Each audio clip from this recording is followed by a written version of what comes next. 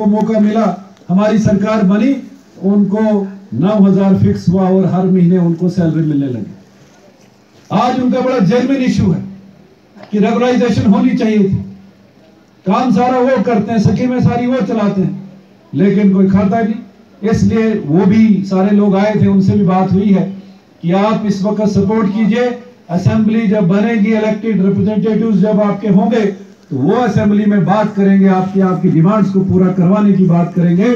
ज़्यादा कुछ न कहते हुए, तीसरे नंबर का बटन है भारतीय जनता पार्टी शक्ति परिहार का।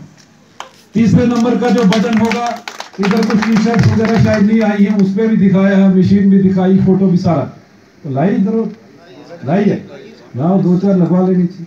तो वो तीसरे नंबर का बटन आपको यहाँ से दबाना है। और भारतीय जनता पार्टी को 100 परसेंट वोट यहाँ से जाए, उसके बाद आप डोडा में आके हमसे बात करेंगे, आप मुझे यहाँ पे आपके पास आना होगा। उसके लिए कोई दिक्कत नहीं, जो डेवलपमेंट काम काज की बात होगी, आपके सुख दुख में हम हमेशा आपके साथ खड़े रहेंगे।